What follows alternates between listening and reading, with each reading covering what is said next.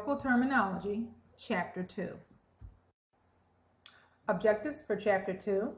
As a result of successfully completing this chapter, students will be able to define the word elements, prefix, root, and suffix, analyze medical terms by their word elements, recognize suffixes, roots, and prefixes that relate to medical and surgical terms, as well identify common abbreviations used in surgery schedules. Medical term basics, the ABCs. The need for medical terminology. An understanding of basic medical terminology is necessary for healthcare professionals to communicate. For example, it improves the communication between the central service and operating room, as well as the other end user departments.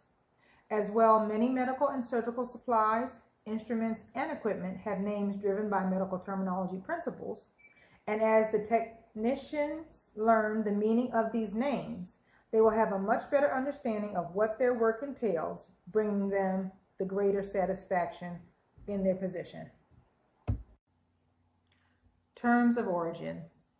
Most medical terms are derived from Greek or Latin origin. Many terms combine both Greek and Latin word elements to form a single medical term. For example, the term claustrophobia, it means fear of enclosed spaces. The Latin word element is claustrum, meaning enclosed space, which is added to the Greek word element, which is phobia, meaning fear, therefore giving you claustrophobia. Word element, parts of a word. Medical terminology. The best way to learn the meaning of a medical term is to break it apart prefix, root, and suffix. Medical terminology may be overwhelming at first, yet with practice and usage, it becomes second nature. Basic word elements are the root, the prefix, and the suffix. The anatomy of a word may consist of the three, and breaking down medical terms are done by identifying the root, the prefix, or the suffix. Basic word elements. The root tells the primary meaning of a word, and it's also called the base word element. Roots may also be identified by a procedure, a body part, or a disease.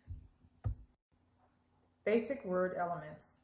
The prefix, the word element that comes before the root word element. The prefix comes before the root and can be one or two syllables, which can modify or alter its meaning. Basic word elements. The suffix is the word element that comes after the root word element. It also can be one or two syllables, and it may also alter or modify the meaning of the word as well. For instance, the medical term for the suffix that means inflammation is itis. The term pericarditis explains inflammation around the heart. Combining vowels. A letter usually an O, that is sometimes used to ease the pronunciation of a medical term. Examples are dermopathy.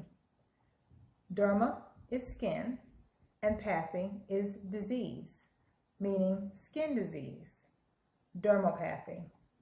Or hemophilia.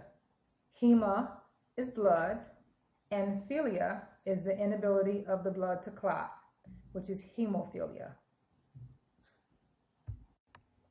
Common terms. Pages 29 through 32 in the text provide lists of common medical and surgical terms that central service technicians may routinely encounter. You're given word elements that are combined to form medical terms, suffixes that mean pertaining to, letters and word elements that may be dropped or added, as well common suffixes, prefixes, and roots. Common abbreviations for surgical procedures. Reading the surgery schedule and other related documents requires an understanding of several abbreviations.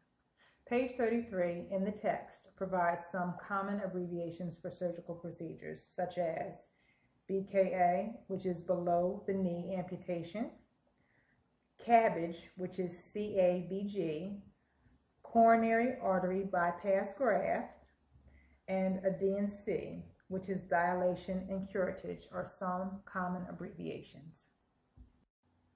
If you have any questions, please refer to online services. Thank you.